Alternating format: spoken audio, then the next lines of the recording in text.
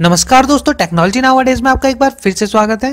दोस्तों, अगर आपने अभी तक हमारे चैनल को सब्सक्राइब नहीं किया है तो वीडियो के नीचे आपको रेड कलर का सब्सक्राइब का बटन दिख रहा होगा। आप उस पर क्लिक करके हमारे चैनल को सब्सक्राइब कर सकते हैं।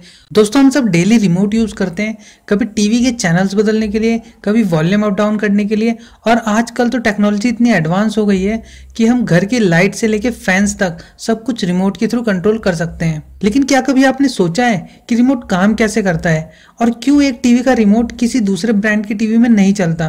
तो आज इस वीडियो में मैं आपको इन्हीं सब चीज़ों के बारे में बताने वाला हूँ। तो सबसे पहले बात करते हैं, रिमोट काम कैसे करता है?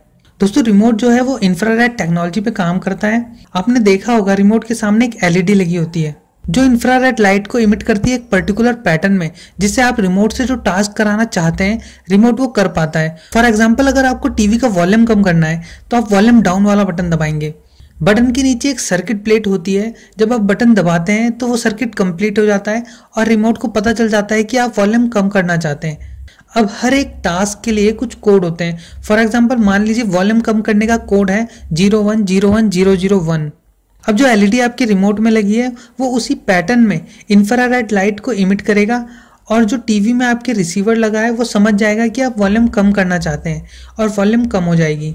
इसी तरह से हर एक टास्क के लिए पर्टिकुलर कोड होते हैं। और ऐसे ही आपका रिमोट जो है वो काम करता है। अब बात करते हैं कि एक टीवी का रिमोट किसी दूसरे ब्रांड की टीवी में क्यों नहीं चलता है? तो दोस्तों, होता यह है कि हर एक ब्रांड के अलग अलग कोड्स होते हैं, जिस पर वो काम करता है। ऐसा इसलिए होता है फॉर एग्जांपल मान लीजिए आपके सामने एक टीवी रखा है, एक सेट टॉप बॉक्स रखा है और एक होम थिएटर रखा है। अब अगर सबके वॉल्यूम कम करने के कोड सेम होंगे तो आप होम थिएटर का वॉल्यूम कम करना चाहते होंगे तो साथ में टीवी का और सेट बॉक्स का भी वॉल्यूम जो है वो कम हो जाएगा। इसी वजह से सबके अलग अलग कोड जो है वो रखे जाते हैं। आई होप आपको समझ आ गया होगा कि आपका रिमोट कैसे काम करता है और क्यों एक टीवी का रिमोट किसी दूसरे ब्रांड के टीवी में काम नहीं करता है। तो दोस्तों, इस वीडियो में इतना ही। ऐसे और भी वीडियो आपको हमारे चैनल पर देखने को मिल जाते हैं। तो अगर आपने अभी तक हमारे चैनल को सब्सक्राइब नहीं किया है तो सब्सक्राइब कर लीजिए।